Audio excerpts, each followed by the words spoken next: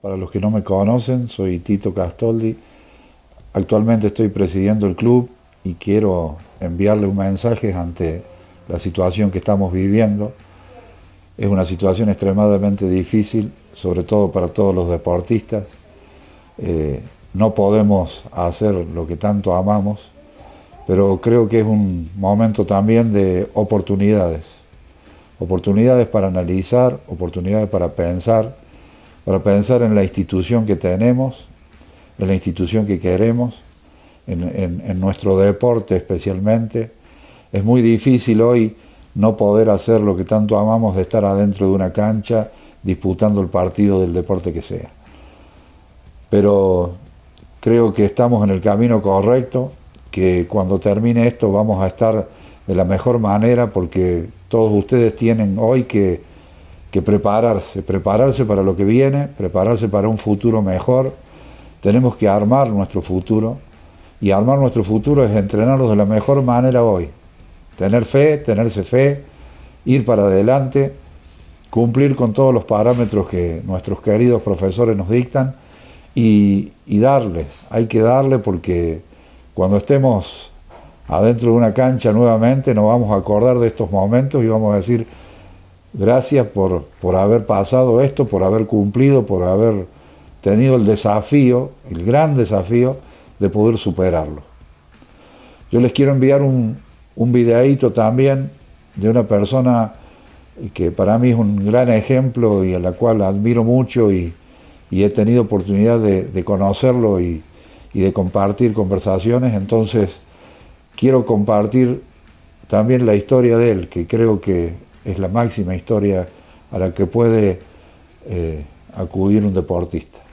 Mi nombre es Carlos Páez y mm, participé en aquel vuelo en el año 1972, aquel equipo de rugby que iba a cruzar los Andes para jugar un partido de rugby en Chile. El avión cayó en los Andes y tuvimos que permanecer durante 70 largos días con sus noches en aquella historia increíble, de la cual seguimos hablando hoy, de la cual se han hecho tres películas, se han escrito 26 libros, nueve documentales que la convierten sin duda, como dice la National Geographic, en la historia más increíble de supervivencia protagonizada por gente del común. La cuestión es que el avión eh, agarramos hacia el sur y comenzamos a cruzar la cordillera por el paso de Planchón. Salió uno de los militares de la cabina y nos dijo, señores, pónganse los cinturones porque el avión va a bailar un rato.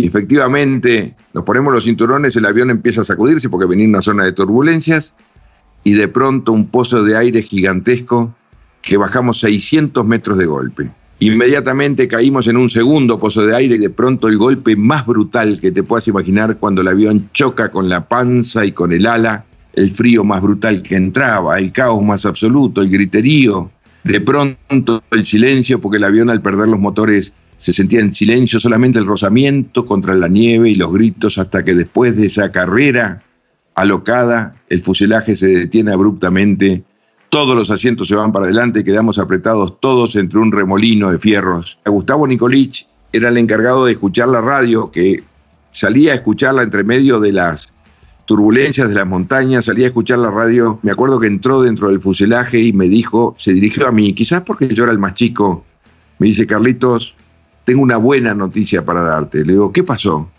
Dice, acabo de escuchar en la radio una radio chilena donde el locutor dijo que dieron por finalizada la búsqueda del avión uruguayo y van a venir a buscar los restos nuestros en febrero cuando vengan los deshielos. ¿Cómo buena noticia lo quería matar? Imagínense a ese chico malcriado y consentido y caprichoso, le dicen que es una buena noticia que no nos busquen más. Y él me agarró del cuello, me miró a los ojos y me dijo, Carlitos, ¿Sabes por qué es buena noticia? ¿Por qué? Le digo yo. Y me dijo, Carlitos, tenemos que encontrar nuestros propios recursos. Mirando 47 años para atrás, puedo decir que qué razón tenía mi amigo Nicolich cuando me dijo que era una buena noticia, porque ese día dejamos de sobrevivir, pero empezamos a vivir. Para mí sobreviviente es aquel que está esperando a que lo vengan a buscar, pero cuando uno se convierte en el timonel de su propio destino, la historia cambia. Y ese día cambia y nosotros salimos a pelear la historia. Saludo para todas las familias, cuiden chicos, cuiden mucho a cada familia, nos ocupemos de, los, de todos y que nos encuentre en el mejor momento la próxima vez, que nos encuentre dentro de una cancha, que es lo que tanto deseamos. Un gran abrazo para todos, cuídense mucho y vamos para adelante que tenemos que poner a la gloria en el mejor lugar. Gran abrazo.